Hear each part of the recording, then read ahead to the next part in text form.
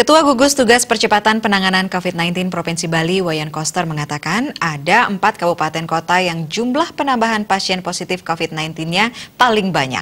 Para pimpinan daerahnya pun diminta berani bertindak tegas dalam memutus penyebaran COVID-19. Dari 9 kabupaten kota di Bali, penambahan pasien positif COVID-19 paling banyak terjadi di Kabupaten Bangli, Buleleng, Karangasem, dan Denpasar. Oleh karena itu, Bupati Wali Kota di wilayah tersebut agar berani bertindak tegas untuk memperketat pergerakan masyarakat untuk mencegah penyebaran COVID-19.